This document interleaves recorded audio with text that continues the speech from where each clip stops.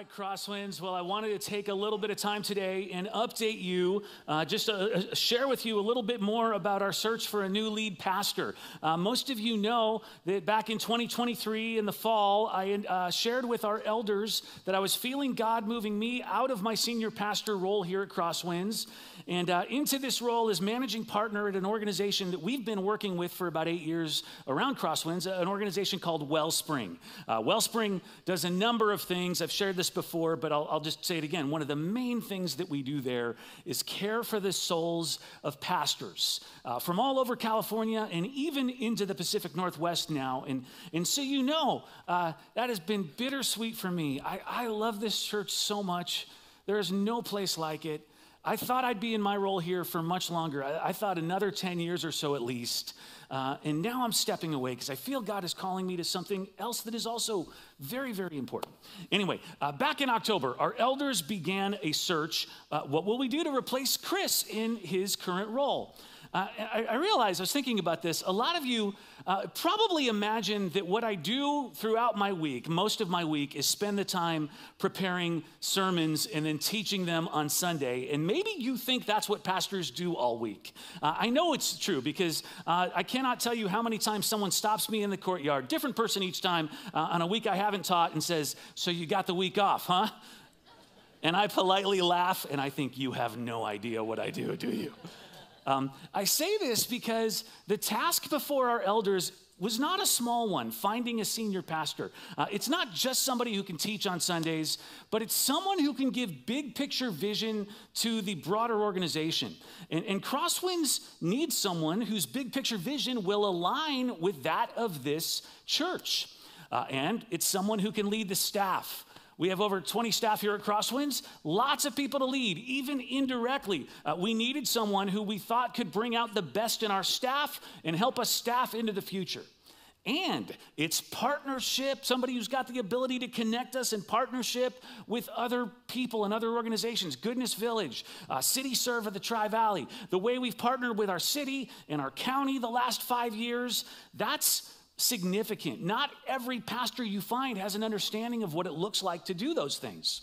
Uh, there's a long list of other things, right? Pastoral care, uh, leading our church into peacekeeping initiatives, that's important. And, and, I said leading our staff, but it's even making sure that our kids' ministries and our students' ministries and, and our small group ministries are everything that they can be. Oh, and they've got to be really passionate about leading people to Jesus. We want to see someone who loves to share God's grace and forgiveness with people. Lead us all in doing that together as a church. It is a hard task to find this person. Uh, even as I walk you through all that, I think there are parts of those that I've been good at, parts of those I know I could have done much better. But what's hit us is how difficult it is to have one person who can do it all. You know, these days we expect our senior pastors often to be Superman, to somehow have this superhuman ability to manage everything. So, early in our process, our elders brought up a couple of internal names. Um, Jody Tay, is this something that you would be interested in doing? Uh, Jody's been here 20 years, worked alongside me as our associate pastor for the last 10 years. And Jody said, I love Crosswinds. I do not feel like that role is my calling, all of that stuff. And they asked about Andrea. Is this something that Andrea would want to do? And Andrea said, There are parts of that that I love. I love teaching on Sundays. I love championing the vision for what our Sunday morning services look like, lots of creativity, but I do not feel called in any way to be the lead over this organization. And our elders talked about all of that early on. What are we looking for? Uh, perhaps we have someone in our church who can play a significant role on Sundays in teaching, and, and maybe that relieves who we're looking for in a lead pastor from having to do all of that themselves. Maybe we don't need a lead pastor who can teach every week and keep the, the, the value of creative arts in our Sunday services. Maybe we need one who shares the teaching load with a teaching pastor and then does all those other things that I listed vision for the organization, leading the staff, helping our ministries be everything that they can be. And so we set out to find the best leader for Crosswinds we possibly could. Um, we decided to hire an organization named Slingshot to help us do this. They specifically work with pastors from all over the country, all over the world, and with churches, helping connect them to each other in really recruiting and matching organizations with good people. And by February, they had talked to over 60 people about this lead pastor role here at Crosswinds. Um, actually, over 100 people, but 61 that they had real deep conversations and interviews with about this job. They helped us whittle down that number. Uh, some of those people were not theologically aligned with who Crosswinds is, which is hard to believe because we have a wide variety of theological understandings around this place. Uh, we pride ourselves in our ability to disagree with each other on some of these things, but actually, come to think of that, maybe that was what the problem was with some of those candidates. Um, some didn't have the experience. Uh, some were not a cultural fit in, in, in, terms of what it is we do here, what we value. Uh, some were just missing some core competencies we felt we needed in this leader. Uh, Slingshot told us it might take 12 to 18 months from the time that I've made a decision, God's calling me on, uh, till when someone can actually be here. That's a long time. But as they described who we were to people and, and, and what it is we were looking for, there was an enormous outpouring of pastors desiring to be a part of a church family like this.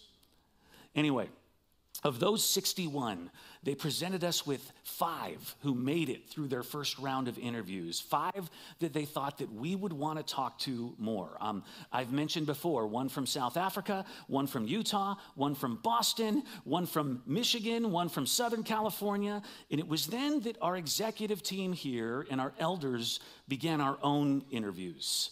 Um, I'll tell you, some of those pastors we interviewed more than others. I, I think uh, one of those we interviewed twice and decided it, it wasn't quite the right fit for us. But the other four, we had many interviews with lots of time to figure out if they would be right for Crosswinds. Uh, I counted this up the other day. Uh, our candidate from South Africa probably had 10 interviews with our team from Crosswinds, one on ones as well as group interviews. This poor guy, four in the morning in South Africa on Zoom calls with our team. Uh, same with our person in Boston. Uh, our candidate from Utah, it was closer to 20 interviews. And finally, our candidate from Southern California, I added it up, it was over 30 interviews. And when I say that, I don't just mean like five minute phone calls. I mean at least an hour each time with a person or a group of people diving deep. And I tell you that to say, while you've been exposed to some of these candidates in the pulpit on Sunday, uh, there's a lot that has been going on behind the scenes, a lot more. Uh, this has been an exhaustive process and exhausting, uh, but it's worth it because this church matters to us so much. And we want to make sure we find the right person that God is calling to lead us for the many years that are ahead. And now, um, we are thrilled to announce that we have found our new lead pastor whom you guys have seen twice over the past few months, a guy named Josh Carmen from Southern California. There's, sure.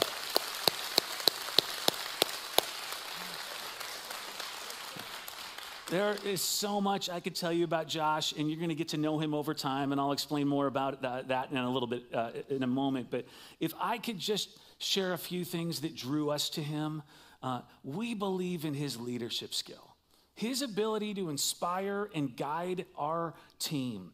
Uh, he's an engaging communicator. We heard from so many of you who felt his teaching resonated with you personally when he was here with us. He's warm and personable and gifted in pastoral care. He's a great team builder, understands our collaborative style of ministry, and his commitment to building peace among people who disagree with each other. It is a perfect fit for one of the parts of our Crosswinds mission that we so believe. Um, Slingshot told us as a church, you're lucky if you get a 70% match on the things that you're looking for in a candidate on those core areas that you identify ahead of time. Uh, we're happy to tell you, we think we see a 100% match. In fact, if I could add more core areas, yeah, hold your applause for one moment. Uh, uh, if I could add heart for the lost, um, commitment to social justice. I could keep going. I think this would be like a 120% match. Uh, Josh is going to bring so much to our church family. And I'll tell you, as much as we've been looking for a pastor like him, I believe that he and his family have been looking for a unique church like this. I'll, I'll, I remember 16 years ago when I was about his age, finding Crosswinds and feeling what he feels right now, which is this is a one of a kind place. I am so excited to be a part of it. Uh, Josh is going to be joining our team in transitioning into this lead pastor role, doing most of the things that I listed earlier that we look to lead pastors to do. But what's a little bit unorthodox is what I mentioned earlier. We're inviting him to do it alongside a teaching pastor in Andrea. Um, back when I made my announcement to all of you in January, uh, I think Jody came up and mentioned that Andrea would be staying on the team here at Crosswinds. Uh, this would continue to be our church home. And we said back then uh, that she would be stepping into a, a, a more elevated role here at Crosswinds, but we didn't quite describe it at the time. I want to do that right now. Um, we will have one lead pastor, that is Josh. He'll be leading this church.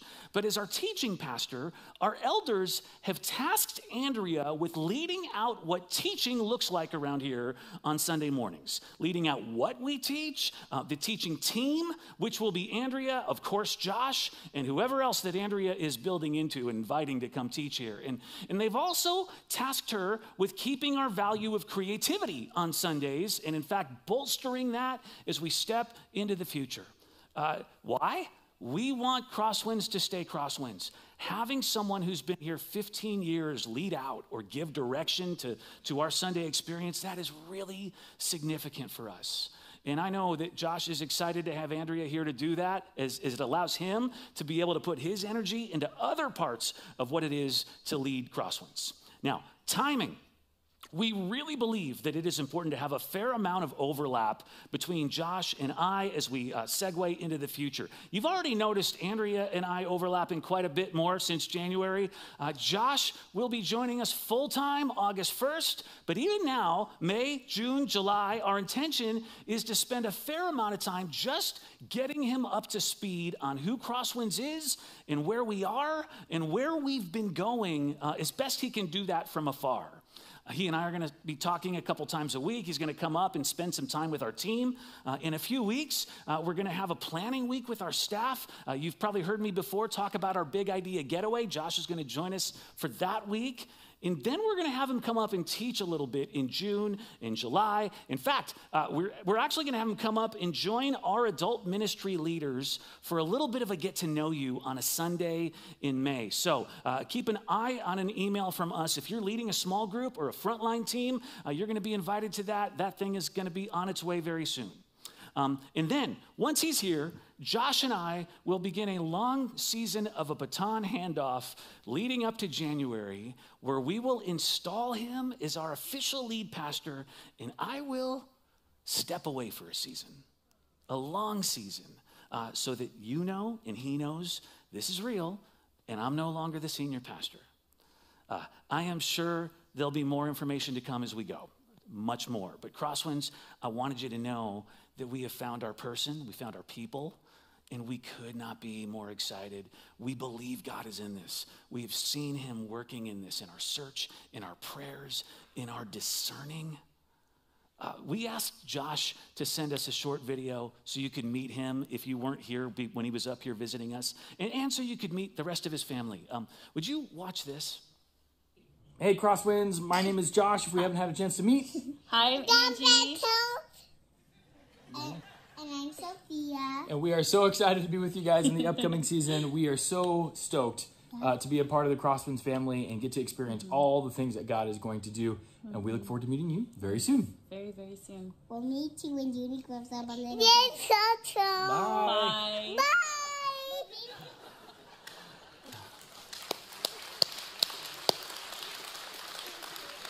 I, uh, I was down in Southern California this past week, so I got to go to dinner with Josh and his family, and it was exactly like that, pretty much. Every 30 seconds, one of the kids doing what they saw, you saw them do in that video. It's so cute, an adorable family. Uh, it was great. You're going to love them. Um, I want to thank our staff, and I want to thank our elders who have given many hours to this process. Uh, you know, not just thank them for their time, but even more for their leadership. There is a team behind the scenes at this place who I have been so honored to get to work with. It's maybe the best part of my job. And uh, they keep, sure, you can applaud for them too if you want. Andrea, you're not going to have much time to teach today after these applause breaks. Uh, no. Uh, honestly, that group of people keep this church healthy and they keep it safe.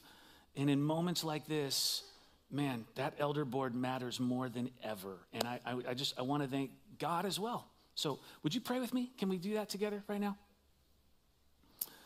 God, I thank you for the way you lead us. It is never a surprise, but it always feels like a surprise. God, when we, we have these moments where uh, we zig and you zag, I, I don't know how else to say it, but you show up and you lead us and you've gone before us, you prepare things before we even get there. And even in an emotional moment like this for me, where I, I feel excitement and grief at the same time, God, I know that you are working to lead us to what you have prepared. So, would you begin to create a, a family here for Josh and Angie and their kids. God, would you help them as they come get surrounded by community and new friends? And God, would you make this place the home that you intend it to be for them as you have for the rest of us? And all God's people said, Amen. Amen. All right. Now, with all of that said,